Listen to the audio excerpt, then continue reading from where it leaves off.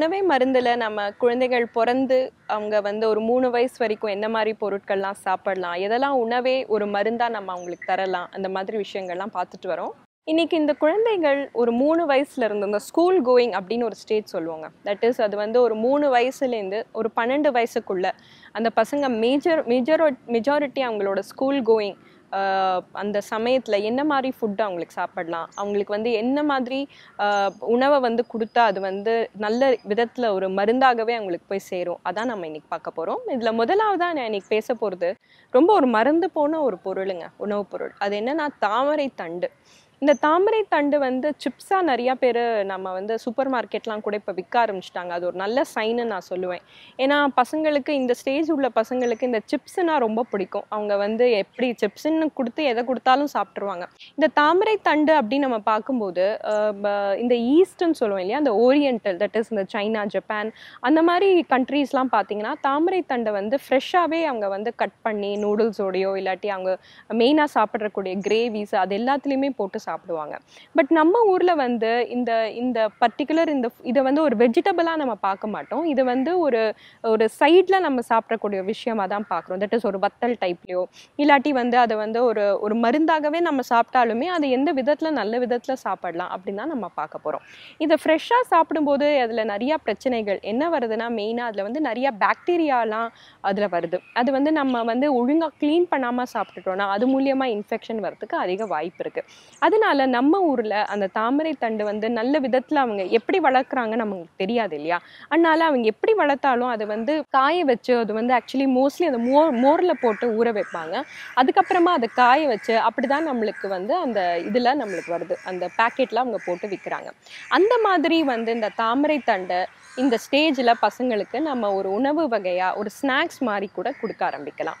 இதில் என்னென்ன மருந்து விஷயம் இருக்குது நம்ம இப்போ பார்க்க போகிறோம் முதல்ல வர வேண்டியது அயனுங்க. இப்போது நான் ஏன் இந்த அயன் பற்றி அதிகம் பேசுகிறேன் இந்த வயசுலேயே நம்ம ஏன் பேசுகிறோம் அப்படின்னு பார்த்தீங்கன்னா ஒரு ஃபைவ் சிக்ஸ் இயர்ஸ்லேருந்தே இந்த பசங்களுக்கு வந்து அதிக கெமிக்கல் ஒரு கலந்து கலந்த அவங்க உணவுகள் சாப்பிட ஆரம்பிச்சிடுறாங்க. நம்மளுக்கு ஒரு ஒரு தெரியாத விஷயம் இதில் என்ன இருக்குன்னா கெமிக்கல்ஸ் அதிகம் சாப்பிடும்போது இந்த அயனோட அப்சார்ப்ஷன் நம்ம பாடியில் ரொம்ப அதிக அளவில் குறைஞ்சு போகிறது இதுக்காக இந்த தாமரை தண்டை வந்து நம்ம இந்த வயசுலேயே கொடுக்க ஆரம்பிக்கிறது ரொம்ப நல்லது. இது அவங்க டெய்லி சாப்பிடணும்னு அவசியம் இல்லைங்க. வாரத்தில் ஒரு தடவை அந்த மாதிரி ரெண்டு தடவை அட்லீஸ்ட் ஒரு சின்ன பேக்கெட்டில் அது மோஸ்ட்லி அதை பத்து ஃபிஃப்டீன் பீசஸ் அப்படி இருக்குன்னு வச்சுங்களேன். அதில் ஒரு ரெண்டு மூணு நீங்கள் ஈவன் நார்மல் பொரியல் பொரியலில் பண்ணுறதுலையோ இல்லாட்டி குழம்புல எதில் வேணாலும் நீங்கள் அதை அவங்க போட்டு தரலாம். இந்த அந்த வத்தல் டைப்பில் வரத நம்ம கொஞ்சம் லைட்டாக ஃப்ரை தான் பண்ணணும். அதுக்கு நீங்கள் நல்லெண்ணெய் அந்த மாதிரி ஒரு க நல்ல ஒரு ஆயில் நம்ம உபயோகப்படுத்தலாம். பண்ணிவிட்டு நம்ம வந்து பசங்களுக்கு அந்த ரூபத்தில் தரலாம். இன்னும் சொல்ல போனால் இந்த தாமரை தண்டில் முதல்ல வ- அந்த அயன் சக்தி நல்ல விதத்தில் நம்ம பசங்களுக்கு போய் சேருது. நான் ஏன் அது சொன்னேன்னு நான் முன்னாடி உங்ககிட்ட சொன்னேன். இந்த கெமிக்கல்ஸ் அதிகம் சாப்பிட்றதுனால அந்த அயனோட அப்சார்ப்ஷன் கம்மியாக கம்மியாயிடும் பாடியில் அது வந்து இது வ- பசங்களுக்கு நல்ல விதத்தில் கொடுக்குது. அண்ட் அந்த சோர்வு வந்து நிறையா பசங்களிடையில இந்த காலத்தில் பார்க்குறோம் ஒன்று வந்து ஒபேசிட்டினால அந்த சோர்வு வருது. இன்னொன்று வந்து இந்த அயர்ன் வந்து குறைபாடு இருக்கிறதுனாலே இந்த சோர்வு வருது. இந்த அயர்ன் பற்றி நான் பேசும்போது பெண் குழந்தைகள் தட் இஸ் கேர்ள்ஸ் அந்த ஸ்டேஜில் இருக்கிற கேர்ள்ஸ்க்கு நான் முக்கியமாக ஒன்று சொல்லுவேங்க. தட் இஸ் அந்த எட்டு வயசுலேருந்து அந்த கேர்ள்ஸுக்கு அவங்களுக்கு அடுத்த ஸ்டேஜ் அவங்க போகணும் இல்லையா? அந்த ஸ்டேஜுக்கு தேவையான அவங்க பாடியில் இருக்கிற சத்துக்கள் வந்து டெவலப் ஆக ஆரம்பிச்சிடும் அந்த சத்துக்களுக்கு நம்ம வந்து இந்த இந்த தாமரை தண்டை வந்து நம்ம அயன் சத்து வந்து நம்ம கொடுக்கறது ரொம்ப நல்லது.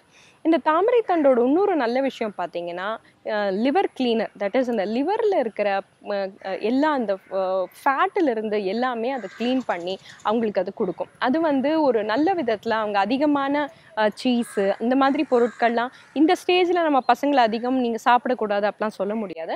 ஸோ அவங்க அந்த மாதிரி சாப்பிட்டா கூட இந்த இந்த ப- இந்த இந்த தாமரத்தண்டை அவங்களுக்கு நம்ம கொடுக்கலாம்.